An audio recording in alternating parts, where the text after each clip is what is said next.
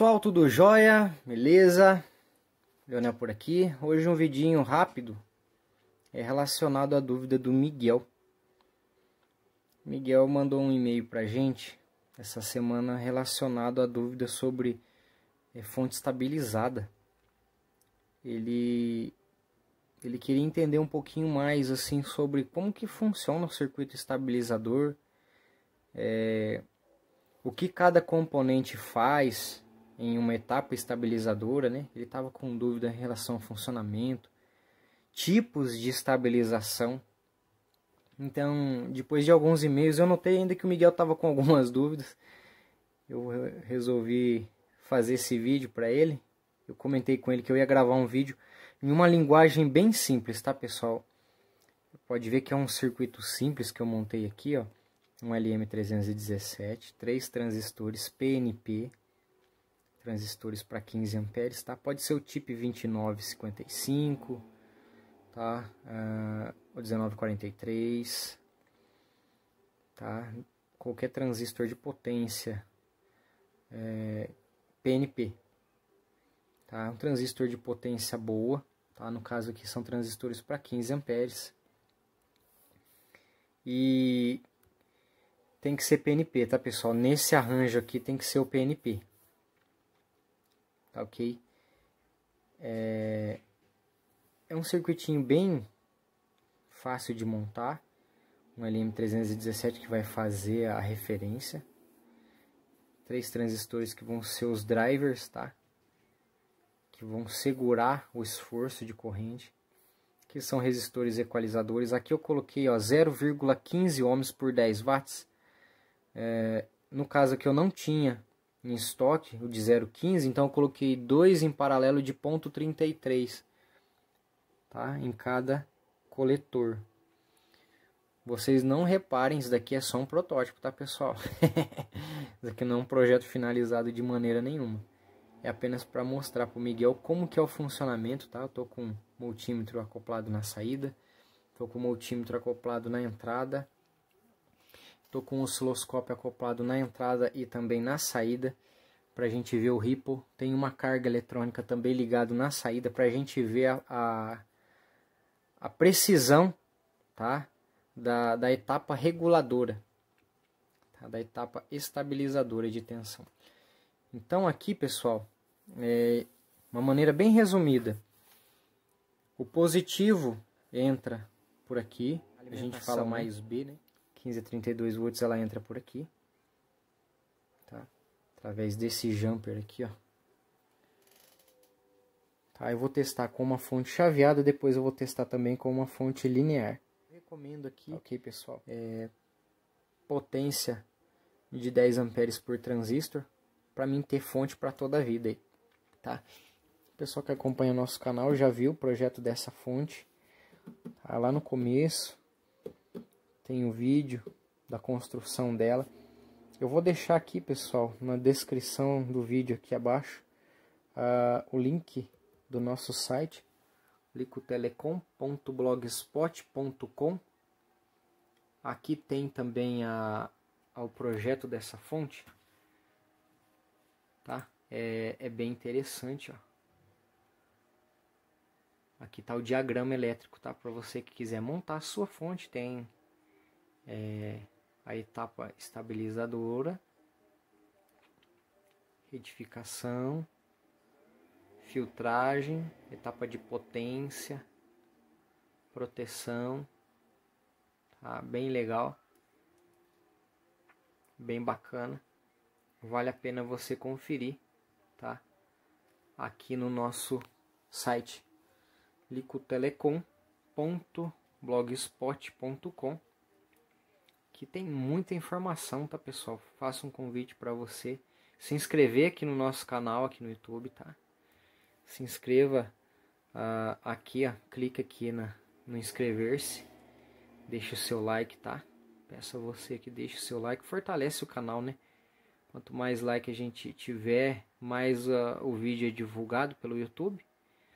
E com isso o canal vai ficando cada vez mais divulgado, né? Bem legal, bem bacana. Tá? Aqui tem alguns vídeos, fontes de alimentação, softwares interfaces, né? RIB, o pessoal com, conhece como RIB, programar rádio VHF, modificação em PX em pico positivo, é, para transformar o PX em MOSFET, mic de ganho, amplificadores transistorizados, tem muita coisa legal. Convido você a estar tá acessando aqui a nossa página. Voltando aqui, eu vou fazer um teste com essa fonte. Também tem vídeo dela no canal, tá? Muito legal, uma fonte chaveada. Depois a gente vai testar aqui com essa fonte linear, uma fonte de transformador. Tá? Essa é ajustável. Essa daqui é fixa, 13,8. Ah, esse daqui, pessoal, é um protótipo, tá? Algo montado só para explicar para o Miguel. E para todo mundo aí que quiser também aproveitar para estar tá montando a sua fonte, ó. Eu vou fazer o seguinte, pessoal, eu vou deixar assim para você poder visualizar bem legal. Eu vou deixar também ah, aqui abaixo, na descrição do vídeo, o link. Eu vou postar o diagrama elétrico, tá? Bem, bem legalzinho, eu vou deixar bem feito. Eu vou fazer com imagens dos componentes para ficar fácil de você entender as ligações. E eu também vou deixar o diagrama elétrico feito já num software, todo certinho. Eu vou pegar, vou montar para vocês aqui o diagrama elétrico, tá? Tanto com as fotos, as ligações, depois eu vou fazer também no software, vou fazer no Proteus o diagrama elétrico. Vou salvar, vou postar no site e vou deixar o link aqui na descrição, logo abaixo aqui. Então você vai clicar no link, já vai direcionar o site, vai ter lá o diagrama elétrico para você montar a sua fonte. Você vai ver que legal a, a, a qualidade da estabilidade dela. Vamos fazer um teste aqui. É, eu vou ligar a fonte. Que é a tela de iniciação dela. Muito legal, tá, pessoal? Vocês viram que ficou verde, já liberou o funcionamento. 3,8, ela mede tensão, corrente, potência, temperatura interna. Aqui ela avisa se a, a fan, a ventilação interna está ligada ou desligada. Tem vídeo dela no canal, tá pessoal? Parte 1, parte 2, a construção dela. Show de bola. É um Arduino, tá? Um Arduino Nano que comanda toda a parte do display, ventilação. Show de bola. É, conectado a ela, osciloscópio canal 1 na entrada do circuito aqui, canal 2 na saída do circuito aqui, ó, é 13.8, tá? O multímetro de bancada tá aqui na entrada do circuito e o de saída aqui, esse multímetro, ele tá medindo a tensão que eu ajustei, ó. Caiu, tá? A mínima aqui é 1.2 a máxima 11.5. Por que 11.5, Leonel? Não sai 13.8. Porque eu tenho tensão em cima dos diodos internos do LM317, que ele é um regulador integrado, e também na junção dos transistores eu tenho uma queda de 0,6. 6 volts, joia. Entrando com 13,8 da fonte. Vamos utilizar uma carga eletrônica é, essa carga aqui eu vou ajustar a, o consumo de corrente através desse potenciômetro. Ela simula um consumo de corrente, um aparelho ligado, enfim. E aí a gente vai ver a, a, a corrente e a tensão se vai cair. Aqui é o ripple, tá? Ripple de entrada e o ripple de saída.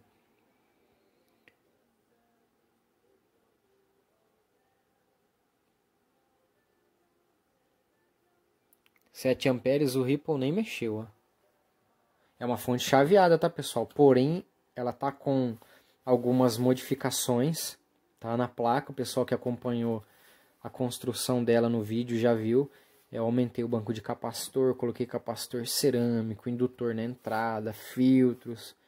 Então ficou uma fonte bem bacana para utilizar aí na bancada. Ripple não se mexeu, 8 amperes, 6 volts. 18 amperes. 18 amperes. O Ripple não se mexe. Tensão 6 volts. 25 amperes. Ripple não se mexeu. 25 amperes. Tensão 6 volts. Eu vou chegar até 30, tá, pessoal? 37 porque o LED vermelho, ó, já indicando que ela tá que ela tá aqui já quase na, no limite dela. 6 volts, ó, o Ripple, não se mexe. 38 amperes, tá? Ó que legal, ó. Quando eu, eu chego próximo ao limite dela, ó, fica amarelo. Chegar no limite dela fica vermelho. Tá? Então é bem legal. Bem bacana, né? Dá pra ver aí que é, ela tem uma uma estabilidade muito boa essa fonte aqui. Eu vou fazer o seguinte, eu vou dar uma paradinha no vídeo, pessoal. Eu vou passar para a fonte de baixo agora para a gente fazer um teste. Tá ok? Para ver como que é o ripple dela. A fonte linear, que é uma fonte linear. de transformador. Eu não estou passando muito de 30 amperes, pessoal. Né? Para não exceder a potência em cada transistor. A gente tinha comentado de deixar em 30 amperes. A gente chegou até 40 quase aqui, né? É, agora eu vou, já está conectado aqui na fonte de baixo. Eu também não posso abusar muito que esse jumper aqui, né? Uh, é um fio até bem, bem bacana, 4 milímetros, mas eu não posso abusar muito devido às garrinhas, né? É, aqui tem um, um cooler ventilando, né, para ajudar, que o alumínio aqui é fino, tá? Esse aqui é só um protótipo, isso aqui não é um projeto finalizado, tá, pessoal? Só para ficar bem didático aqui, pra gente ver a estabilidade. Vocês viram aí como que o, o, circuito se manteve estável, independente ali, ó, 10, 20, 30 amperes, 6 volts na saída. Eu vou ligar agora aqui a fonte de baixo, ela tem um alarme sonoro para indicar o autoteste dela. Tá? Ela é uma fonte ajustável. Eu vou deixar ela aqui em 13,8. Show de bola. Voltímetro, amperímetro da rede, voltímetro, amperímetro da saída, termômetro da saída. Esse 75 é a temperatura ajustada para acionar um alarme. De repente eu larguei um, um equipamento em teste, ou eu estou usando aqui, e eu não percebo que a temperatura está subindo sem parar. Acima de 40 graus esse LED fica azul e a ventilação de trás aqui já é acionada. Tá, tem uma ventilação forçada aqui.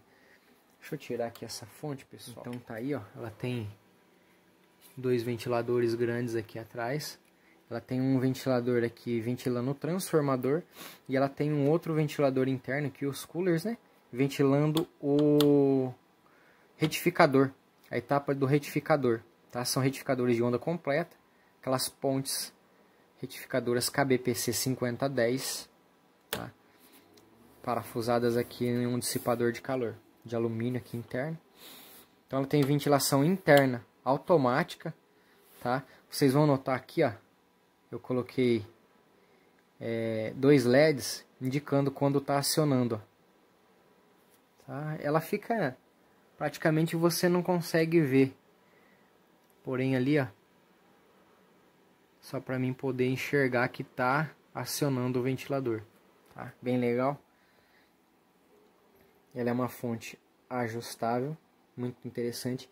E a gente vai usar esse ajuste para demonstrar mais um negócio. Dá uma olhada aqui, a 6 volts. 14, né? Então tá entrando 14 volts aqui, ó. E tá saindo 6, né? Vamos diminuir? Ó, caiu para 12. Tá em 6. Ah, mas como assim? Exatamente o LM317 compensa. O pino de entrada é o pino 3, o pino de saída é o pino 2 e o pino de ajuste é o pino 1. O pino 1 está ligado esse potenciômetro. O pino 2, tá, o pino do meio, ó, ele está ligado aqui na saída. Então, o que, que acontece? Ele tem um feedback. Eu, eu, eu comento que esse esse pino 2 aqui, a, a, a o, o, pino de saída, é o feedback. Ele vai fazer a leitura da saída. Se a tensão de saída querer subir, ele tá fazendo a leitura, ele já, já detecta, ele corrige. Né? E se a tensão querer abaixar, ele também está percebendo aqui, ele vai corrigir. Por quê? Porque ele tem esse pino de feedback aqui, ó, pino 2. O pino 3 é a tensão de entrada, porém ela está passando aqui nesse resistor. A sacada desse arranjo aqui é esse resistor. Tá? Quanto mais baixo o valor, é, ela, a, a, o fator de correção é menor. Quanto mais alto o resistor, o fator de correção é maior. Porém, eu não aconselho você passar de 270 ohms. Não aconselho, ela vai perder linearidade. E um, um, um, valor legal que eu acho aqui 200 ou 220 ohms. Eu coloquei 200 ohms por 3 watts porque eu estou utilizando dois resistores de 100 ohms por 3 watts. Tá? É, aqui os transistores PNP, os resistores nos coletores. Esses resistores são para igualar a corrente em cada transistor. Bem legal. Então, independente aqui, ó, 11 tá 6. 14 também tá 6. Porque se aqui no lugar dessa fonte eu tivesse um transformador comum, né? Vem a energia da rede, passa num transformador, capacitor e vem para cá. Se a rede oscilar, a saída não oscila, que é o que acontece ah, nessa. colocar 10 amperes aqui. Aí já comecei com 18, hein? 18 amperes. 6 volts, ó. Nem se mexe. Dá uma olhada. 18 amperes. 28. 28 amperes. 6 volts, nem se mexe. Tá? Show de bola. Olha o ripple. Imperceptível. Tá ligado aqui, ó. A ventilação acionou. Tá? Porque passou de 40 graus. Tá ajustado para 40 graus. Então os ventiladores aí já acionaram. Eu vou abaixar aqui um pouquinho. Por que, que eu vou abaixar? Para mim ver a temperatura aqui do dissipador, hein? Não posso abusar muito que o dissipador é fino. 27 60, ó. É. Então eu vou só dar um intervalinho aqui para para refrigerar. Muito legal. Dá uma passadinha. Tá? 6.02. Se eu quiser abaixar 3.8. Se eu quiser aumentar. Ah, eu quero deixar aqui com 9 volts na saída. Ó, 8 volts. Dá até para deixar com 9. Vamos deixar com 9. 9 volts, ó. 9 volts. 9 volts. Está entrando 13.8. Vamos lá. 18 amperes, ó o ripple. Não se mexe. 9 volts. 18 amperes, hein? Vamos ajustar ela em 3. Ah, eu tenho um radinho de pilha.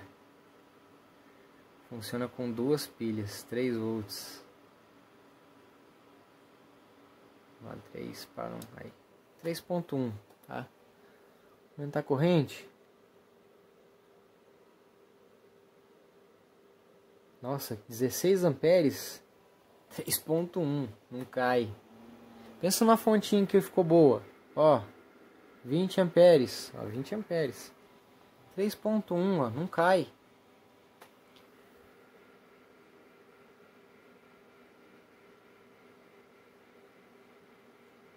30 amperes. Dá uma olhada nisso, ó, 31. 3.1.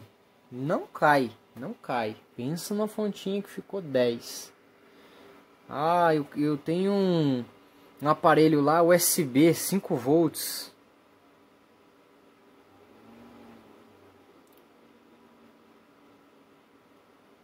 O potenciômetro aqui, ele é bem crítico aqui, viu?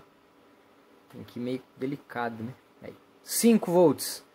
Ah, eu tenho um aparelho 5 volts lá, só que ele consome bastante corrente. Será que essa fonte suporta? Vamos ver. Olha o Ripple.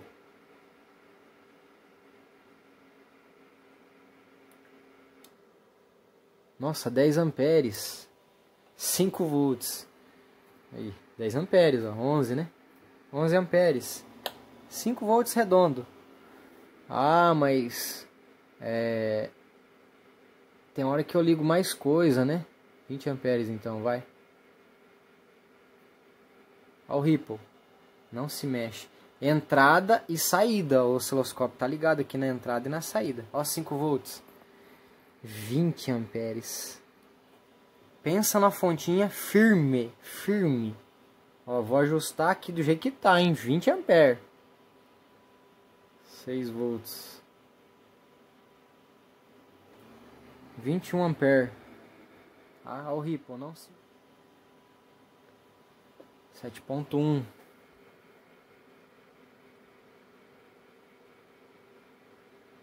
Deixa aqui 25, vai.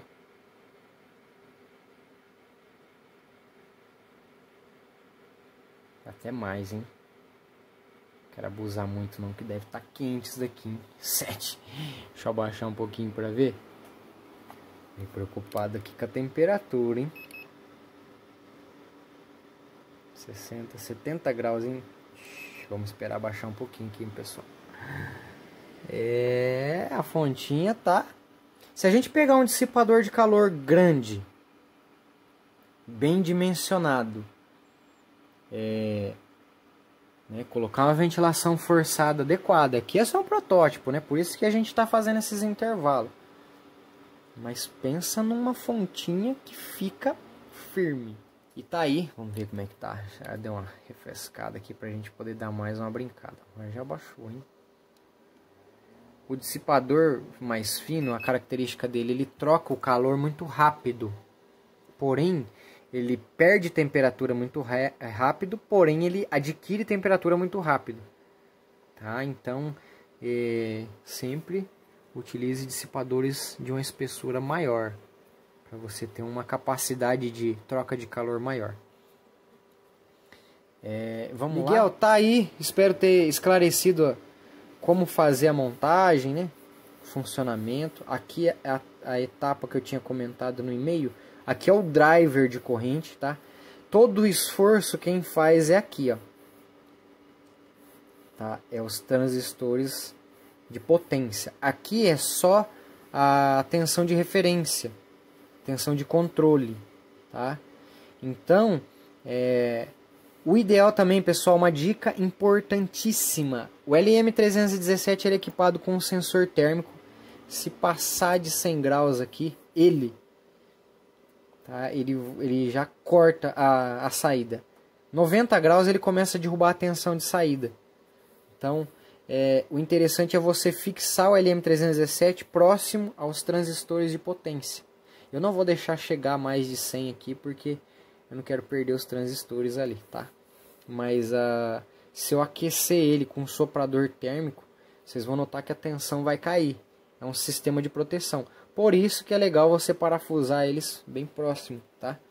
Um dissipador de uma densidade boa de, de material, tá? Um alumínio um pouco mais grosso, mais espesso ventilação forçada. Tá ok, pessoal? Muito legal essa fonte.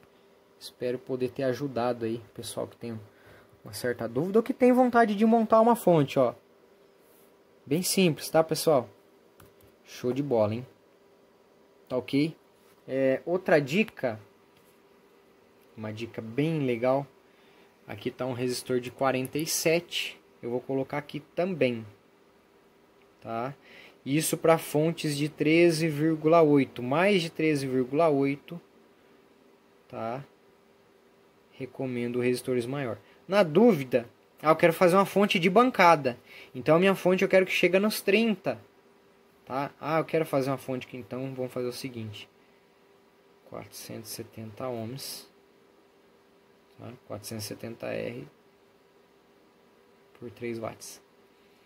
Olha, mas qual que é a fun função, qual que é a finalidade desse resistor? Ele vai fazer a saída entrar em corte quando a tensão estiver mínima. Né? Ela vai ficar em 1. Ponto, Está aí um projetinho é, bem 1.1, bacana. 1.2. Bem eficaz. Tá ok, pessoal? Um forte abraço. Que Deus abençoe a todos. E até o próximo vídeo, hein?